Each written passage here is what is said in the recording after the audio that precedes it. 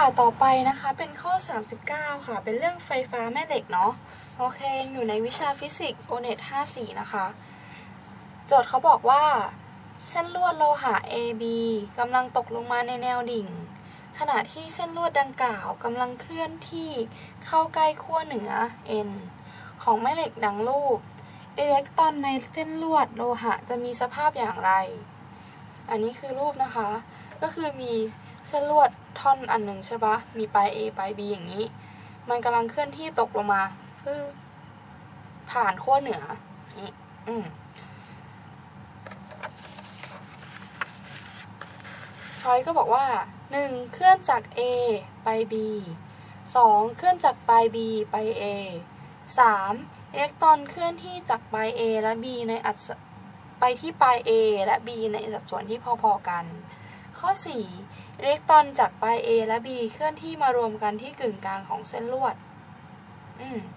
ส่วนนี้แบบนี้จะเป็นยังไงเอ่ยปึ๊บเรื่องนี้นะคะต้องเป็นเรื่องที่ เออเขาเรียกว่าเป็นการเหนี่ยวนำ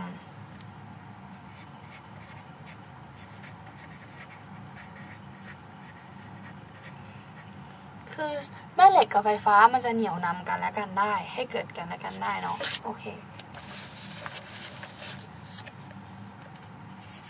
เรื่องนี้เป็นเรื่องของไฟฟ้าแม่เหล็กนะคะ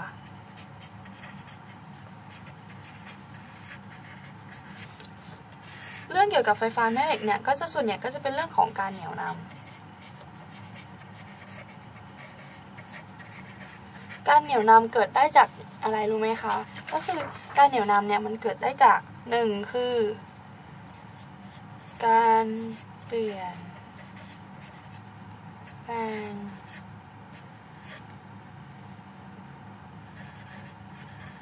สนาม แม่เหล็ก การเปลี่ยนแปลงสนามแม่เหล็ก จะเหนี่ยวนำให้เกิดสนามเกิดไฟฟ้าไป ก็คือเกิดสนามไฟฟ้า ดังนั้นเมื่อการเปลี่ยนแปลงสนามไฟฟ้า ก็จะเหนี่ยวนำให้เกิดสนามแม่เหล็ก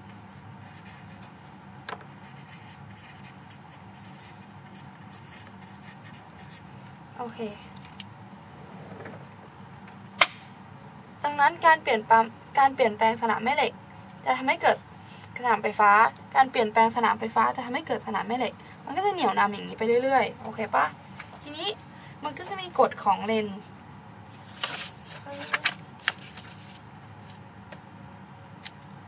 คนที่ชื่อเลนส์เขาได้ตั้งกฎมาว่าปึ๊บอันนี้เลนส์ลอ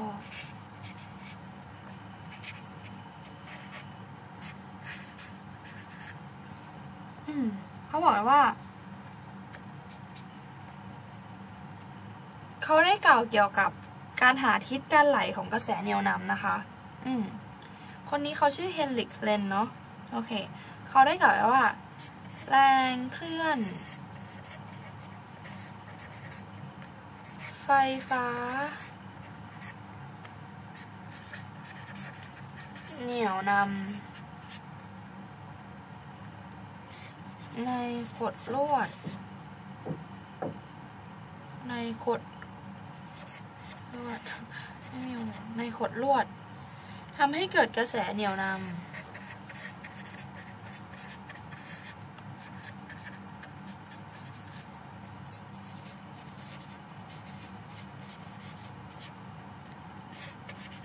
ในทิศที่ทำให้เกิดสนาม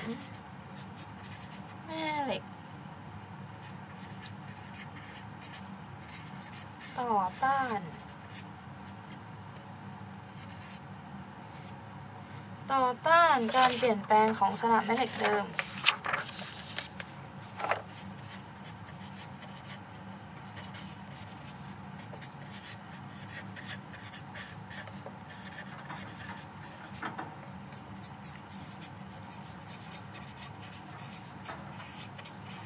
อืมเรนได้กล่าวไว้ว่า แร การเคลื่อนไฟฟ้าเหนี่ย วนำในขดลวดเนี่ยจะทำให้เกิดกระแสเหนี่ยวนำที่ที่ทำให้เกิดสนามแม่เหล็กต่อต้านการเปลี่ยนแปลงของสนามแม่เหล็กเดิม ก็คือว่าถ้าสมมุติว่าสนามการเปลี่ยนแปลงของสนามแม่เหล็กเดิม มันเพิ่มขึ้นอย่างนี้ไปทางนี้เพิ่มขึ้น มันก็จะเกิดกระแสเหนี่ยวนำในในทิศที่ทำให้เกิดสนามแม่เหล็กในทิศต่อต้านอย่างนี้ อืมทีนี้การเกิดเวลาสมมุติว่าเป็นขดลวดอย่างนี้ใช่ไหมคะปึ๊บ อันนี้เป็นด้านหลังเนาะอันนี้เป็นด้านหลัง อันนี้เป็นด้านหน้าอืมด้านหน้า ด้านหลังเห็นปะอืมอย่างนี้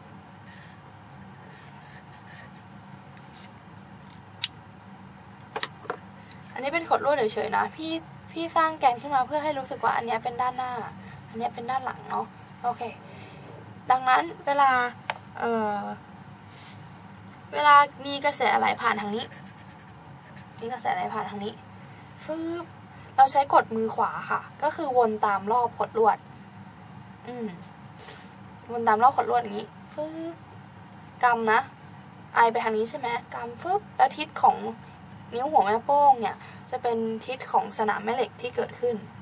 ถ้าไอไหลทางนี้ จะเกิดทิศสนามแม่เหล็กทางนี้ถูกปะ อืม B คือสนามแม่เหล็กนะคะ โอเค ทีนี้ถ้าเป็นไอไหลทางนี้บ้างไอไหลทางนี้บ้างอืมไอไหลทางนี้จะทำไงเอ่ย ก็กำถูกไหม เวลาเรากำเราก็กำอย่างนี้ปะเราต้องทิ่มหัวแม่ปืนลงถูกปะฟึบกำอย่างนี้เนาะอย่างนี้ฟึบ หัวแม่มือจะทิ่มลงกระดาษถูกไหมคะดังนั้นสนามแม่เหล็กจะเป็นแบบนี้ทีนี้ลองมาดูแบบสามมิติ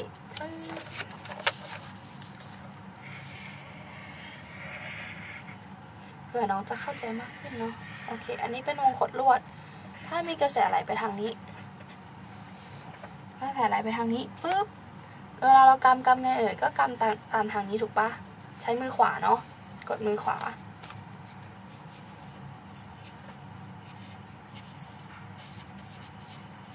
ทำไปทางนี้ปึ๊บ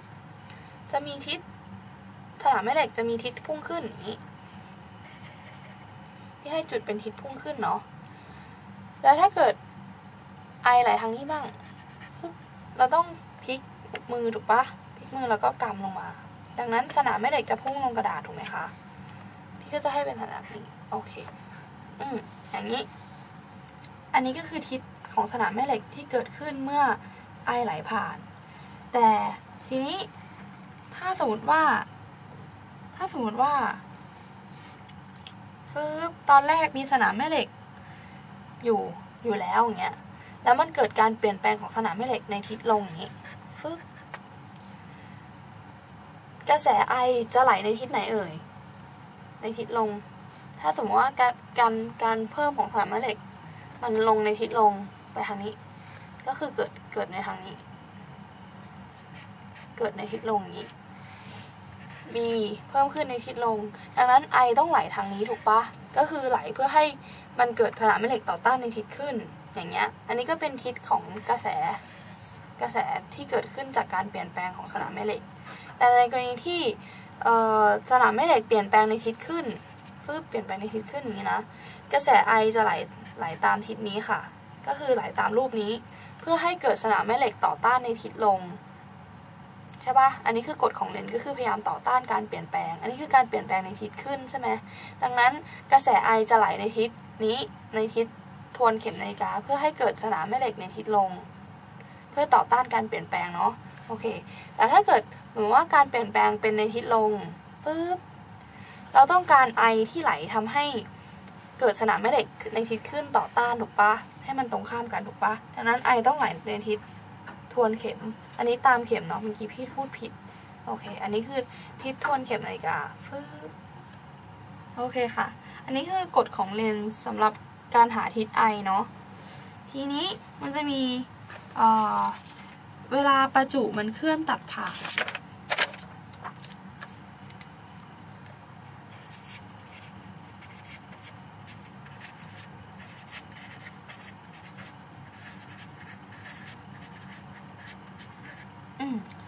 สนามแม่เหล็ก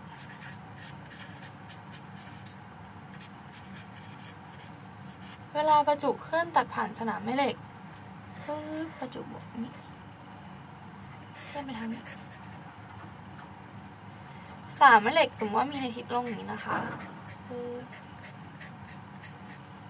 สมมติว่ามันสม่ำเสมอนะพี่เขียนไม่เท่ากัน โอเค มีประมีประจุเคลื่อนตัดผ่านสนามแม่เหล็กในทิศลง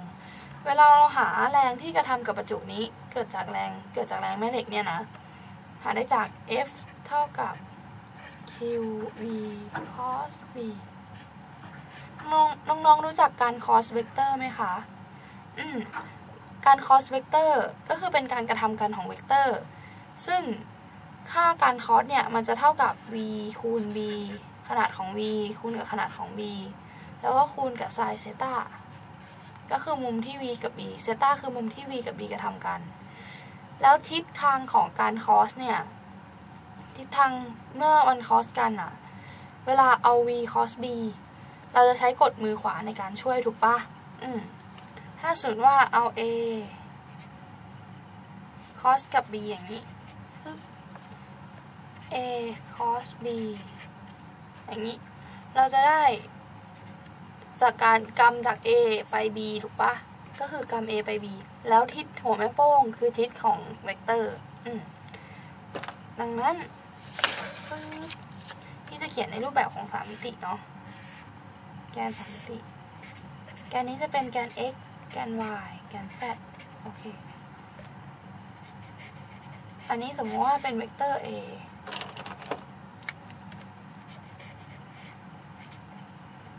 นี้เป็นเวกเตอร์ b อืมตั้งฉากกัน โอเค ถ้าพี่ต้องการหา a cross b เท่ากับ c เวกเตอร์ c อยู่ตรงไหนเอ่ย เวกเตอร์ c คืออยู่ข้างบนนี้ถูกปะ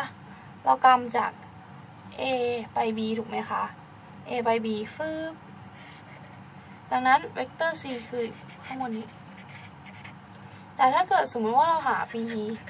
cos a จะเท่ากับ d b cos a หายังไงเอ่ย b cos a คือกำอย่างนี้ใช่ไหมกำจากทางนี้ไปทางนี้ถูกปะอืมดังนั้นหิวแม่โป้งของเราจะอยู่ตรงไหนเอ่ย จะอยู่ในแกนลบ z ถูกปะคะอืมอย่างนี้น้องมองภาพออกเนาะเป็นสามมิติ โอเค อันนี้ก็จะเป็นเวกเตอร์ d จะอยู่ทิ่มลง โอเคปะอืมทีนี้ลองมาดูอันนี้กันฟืบ ประจุเครื่องตัดผ่านสนามแม่เหล็ก f เท่ากับ qv cos b ถูกปะแล้วก็เอา v cos b เพื่อหาทิศ v คือทางนี้ถูกไหมทิศทาง v b คือทิศพุ่งลงใช่ไหมคะ ทีนี้เวลาเราหาเราก็กำนี้ v ไป b ฟึบดังนั้นทิศหัวแม่โป้งคือทิศนี้ถูกปะดังนั้นจะมีแรงกระทำกับประจุ สมมติว่าประจุเคลื่อนมาอยู่ตรงนี้ละฟึบก็จะมีแรงกระทำกับประจุไปทางนี้ถูกปะ ประจุก็จะเลี้ยวไปอย่างนี้ ถูกไหมอืมอันนี้ก็คือเป็นแรงของสนามแม่เหล็กที่กระทำกระทำต่อประจุที่เคลื่อนที่ตัดผ่านนะคะ โอเค ทีนี้การพิจารณาโจทย์ข้อนี้ก็ทำคล้ายๆกัน แต่ว่าโจทย์ของเขาอะมันเป็นอิเล็กตรอนถูกปะอิเล็กตรอนเป็นประจุลบถูกไหมคะประจุลบ ดังนั้นพอประจุลบมันจะเคลื่อนที่ตรงข้ามกับประจุบวก ถ้าประจุบวกฟืบถูกแรงดึงไปทางนี้ ถ้าประจุนี้เป็นประจุลบ มันจะถูกดึงไปตรงข้ามแทนก็คือทางนี้ โอเคนะ อืมเราก็คิดกดมือขวาเหมือนเดิม เพียงแต่ว่าถ้าเป็นประจุลบ ให้ตอบในทิศตรงข้าม โอเคปะอืมฟืบอะเรามาดูโจทย์ข้อนี้กัน แท่งแท่งแท่งโลหะตรงเนี้ย เส้นลวดโลหะไอทอนเนี้ย ก็เสมือนว่ามีอิเล็กตรอนอยู่ในเส้นนี้เส้นนี้เยอะๆใช่ไหมที่จะขอขยายเนาะ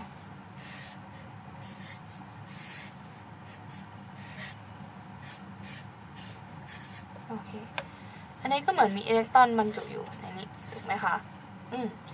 ทีนี้อิเล็กตรอนแต่ละตัวเนี่ย ก็เป็นบรรจุหนึ่งตัวถูกปะดังนั้นตอนแรกมันอยู่นิ่งกับที่ใช่ไหมคะ แต่ว่าตอนหลังเนี่ย เขาบอกว่าเส้นลวดเนี้ยเคลื่อนที่ลงตัดผ่านสนามแม่เหล็กว่าสนามแม่เหล็กแบบนี้นะอืมสนามแม่เหล็กเป็นเป็นแบบนี้ใช่ไหมปึ๊บอืมตัดผ่านสนามแม่เหล็กฟึบลงมาเนี่ย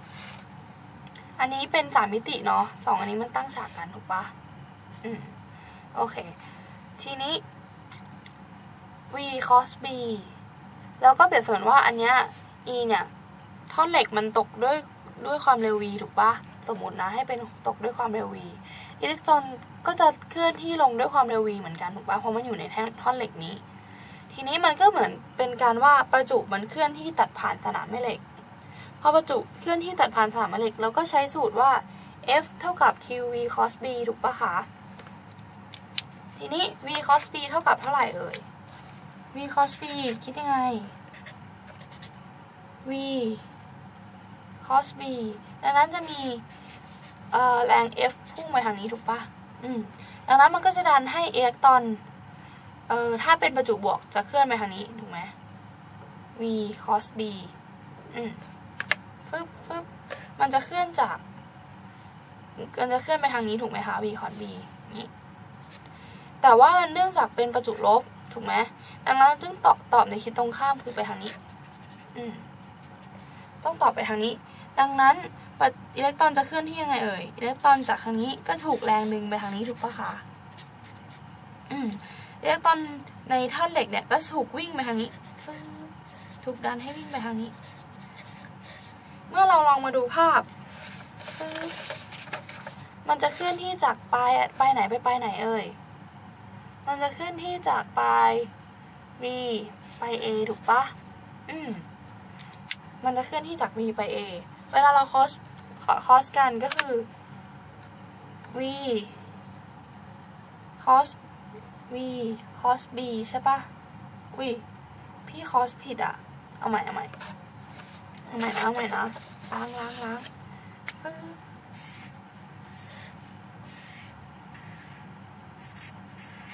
อืมนี่เป็นปลาย B นี่เป็นปลาย A นี่สนามแม่เหล็กพุ่งในทิศนี้ปึ๊บปึ๊บ V ทิศ ทิศลงนี้นะคะ อืม V cos B คิดยังไง B ไปทางนี้ถูกไหม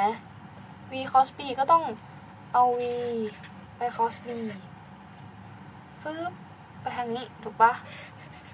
ดังนั้นเมื่อเรากำมือขวากดมือขวากำไปทางนี้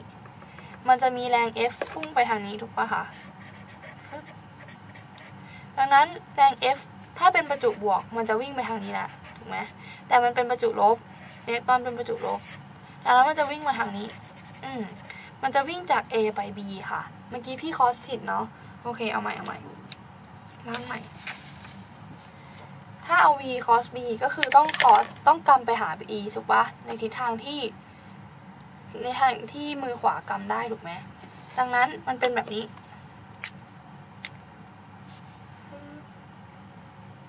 v เป็นแบบนี้ปะ v เป็นแบบนี้ อันนี้คือพี่มองในแนวตั้งฉากเนาะคะ โอเค ดังนั้นจึงเกิด f ไปทางนี้ อันนี้ก็ตั้งฉากเนาะ โอเค v ไปทางนี้ v cos b จึงเกิด f ไปในทางทางนี้นะคะ ดังนั้น f จะดันให้ประจุบวกไปทางนี้ แต่ว่าอิเล็กตรอนเป็นประจุลบ มันจึงเคลื่อนที่ในทิศทางตรงนั้นข้าม ก็คือเคลื่อนจาก a ไป b นั่นเอง ฟึบโอเค ดังนั้นคำตอบข้อนี้จะต้องตอบข้ออะไรเอ่ย ต้องตอบข้อ 1 ถูกไหม คืออิเล็กตรอนจะเคลื่อนที่จากปลาย A ไปปลาย B โอเค ดูข้อ 3 กันอิเล็กตรอนเคลื่อนที่จากปลาย A ไปปลาย B ในสัดส่วนที่เอ่อเคลื่อนที่ไปที่ปลาย A และ B ในสัดส่วนที่พอๆกัน หมายความว่ามันแบ่งกันไป เหมือนกับว่าโจทย์นี้อิเล็กตรอนตัวนี้ดันอยากไปปลาย A ก็ไป ไปปลาย B ก็ไป จริงๆแล้วมันเป็นอย่างนั้นได้ไหมเอ่ย ไม่ได้ถูกไหมข้อ 3 นี่ผิดชัวร์ๆเรามองตัวแล้วก็ตัดทิ้งได้เลย รวมทั้งข้อ 4 ด้วยข้อ 4 ก็คือ จากปลาย A จากปลาย B เนี่ย มารวมกันที่กึ่งกลาง ตลกปะเออ ตลกเหมือนกันใช่ปะงงอยู่ๆทำไมมาชุมนุมกันที่ตรงกลาง อืมดังนั้นข้อ 4 ก็ผิดแน่นอน ดังนั้นเราจึงหาเหลือ 2 ข้อก็คือ A ไป B หรือว่า B ไป A เท่านั้นเอง ทีนี้การหาว่า A ไป B หรือ B ไป A เนี่ย ก็ดูทิศทางฟึบ สนามแม่เหล็กจาก N ไป S มันจะพุ่งอย่างนี้ฟึบนี่ปะก็คืออย่างเงี้ยไปอย่างเงี้ยอืมมันจะพุ่งจาก n ไป s เสมอถูกไหมคะดังนั้นสนามแม่เหล็กจึงมีทิศนี้อืมเอ่อทิศความเร็วของอิเล็กตรอนจึงมีทิศนี้ b ไปทางนี้ถูกปะเวลาเรา cos b v cos b ก็คือจะกำอย่างนี้ฟึ๊บกำอย่างนี้ ทิศทิศทิศทิศนิ้วโป้งของเราก็จะไปทางนี้ถูกปะกำอย่างนี้ทิศนิ้วโป้งของเราจะพุ่งลงกระดาษ เอาจริง ๆ คือมันพุ่งลงกระดาษเนาะอืมพุ่งเข้าหากระดาษอย่างนี้ มันก็เลยเมื่อเป็นประจุลบมันก็เลยพุ่งออกจากกระดาษถูกปะก็คือจากมันจะพุ่งจาก A ไป B อย่างนี้เลย โอเค น้องๆต้องมองเป็นเป็นสามมิตินิดนึงเนาะ อืม อันนี้ cross เวกเตอร์ถ้าเป็นประจุบวก มันจะพุ่งไปทางนี้ถูกปะคะ ก็คือพุ่งเข้ากระดาษลงไป แต่ถ้าเกิดมันเป็นประจุลบมันจะพุ่งตรงข้ามคือออกมาอย่างนี้ ดังนั้นมันจึงออกจากปลาย A มาปลาย B ถูกปะก็คือจะเคลื่อนที่จากปลาย A มาปลาย B โอเค ดังนั้นข้อ 39 จึงตอบข้อ 1 นะคะ เรามาทวนกันอีกครั้งหนึ่งปึ๊บ ถ้าสมมุติว่าเป็นประจุเคลื่อนที่ตัดผ่านสามแม่เหล็ก เราจะใช้สูตรแรงที่กระทำต่อประจุคือ F เท่ากับ QV cos B V cos B หาได้จากกดมือขวา กดมือขวา นี่ อันนี้คือมือขวาคือนี่ นี่คือมือขวาเนาะ เอาประจุ A เอาเวกเตอร์ A cross เวกเตอร์ B คือเขาเอามือขวากำมาทางนี้ถูกปะก็จะกำนี้อืมดูออกไหมเนี่ย เป็นมือกำเข้ามาเนาะจากนี้เป็นมือกำเข้ามาอย่างนี้ นี่มือขวาของพี่ ก็จะเป็น a cross b แล้วก็จะเกิดทิศ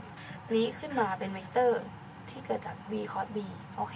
v cross b ก็ในในเช่นเดียวกันก็คือปึ๊บเมื่อกี้ v ไปทางนี้ใช่ป่ะ b ไปทางนี้ ดังนั้น v cos b ก็คือกำไปทางนี้ถูกไหมคะกำไปทางนี้จะเกิด ถูกไหมกำไปทางนี้จะเกิดทิศทางพุ่งลงก็คือพุ่งพุ่งพุ่งเข้าหากระดาษอย่างนี้